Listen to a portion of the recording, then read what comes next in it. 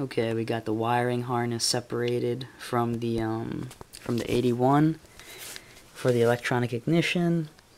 So that goes to the um, to the engine, to the to the little connector coming out of the uh, the engine. This goes to the igniter. This goes to the ground. Pretty sure. Um, there's a red wire coming out of the igniter.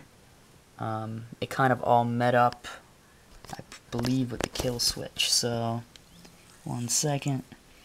We have the two coils here.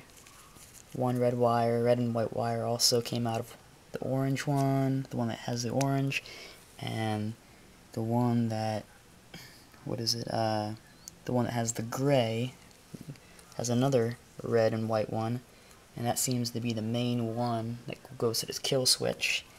I believe they're all spliced in here, so I'd take the one out of this coil, I'm gonna splice it back into there, and take the one coming out of the igniter, splice it back into there. There was uh, there was an extra wire, I believe that is for the safety relay. I don't think I need to splice that one in. That one went to the uh, back of the bike on the 81, and I think I don't need to I don't need to put that anywhere on my bike. Uh, now, I think in the end, there's going to be basically, what is it, the igniter and the other coil spliced into the, to the, the red and white one coming out of the other coil. And then you have black, black wire for the ground. So let's look at the current harness.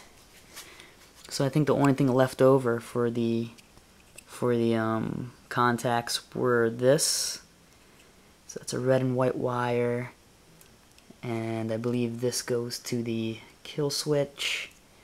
Um, it kind of splices in here. And a red wire goes to the back. Now I'm thinking maybe since the other wire had a red wire going to the back, should I splice should I splice this into that little area where they all meet? Or is this something that's useless? Um, so I'm not really sure about that. Black wire, I may just connect it with one of these black wires that kind of comes and I believe meets up with the this ground. Um, or maybe I'll just take a wire by itself and attach it also here. Um, so that's pretty much it. I guess my main question is, I guess after the kill switch, um, pretend I remove it from right there and right here should this be spliced into that little area as well? Who knows? Maybe this has like a safety relay but I didn't see it in the diagrams or in the wiring diagram. Okay that's pretty much it. And I'll talk to you later